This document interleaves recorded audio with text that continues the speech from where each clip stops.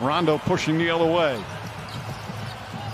Markieff Morris, another three. Morris off the bench with a couple of three pointers and a lead back. Macklemore falls down. Now LeBron with a mismatch. Here's Morris. Got Harden on him. Morris springs free and scores it easily. He's got a big score, and more importantly, if he does pass it, Russell Westbrook turned down a wide open